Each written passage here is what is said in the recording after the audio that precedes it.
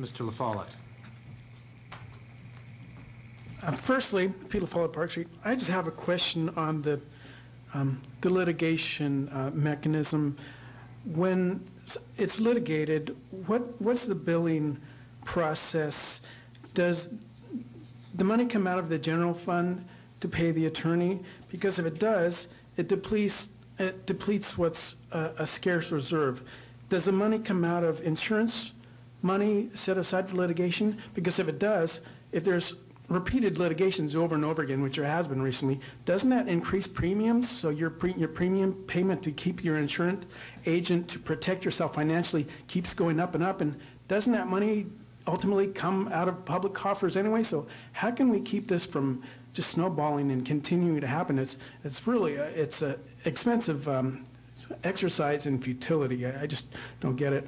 Um, I just had a real qu- quick comment about Mr. Wapner's uh, questions on the conflict of interest. Um, I've done some research there, and I find some really strange coincidental relationships myself with some of you that sit on the board and the, the County Commerce Bank that just happens to specialize in real estate acquisition and development. So perhaps we can have a public meeting or public forum, and then you, as council, people would be invited to attend an open meeting with honest dialogue with all of us. And perhaps we could reach some sort of answers to these festering questions that just don't seem to want to go away very easy. But, oh, just food for thought. Thank you.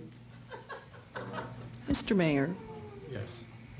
I would like to respond and set the record straight. For months, we have been accused of having conflicts of interest, of having under-the-table dealings, and I would like to set the record straight.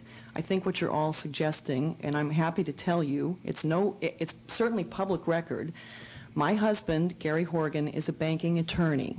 That's what he's done for 35 years. He sits on the board, he serves on the board of directors of County Commerce Bank, which is in Ventura County. Now there it is. So if there's a conflict of interest, if there's something that I've done, I'd like to hear about it. So please bring forth specific suggestions or specific accusations because there are none. That is the truth. My husband sits on the board of a bank in Ventura. Thank you.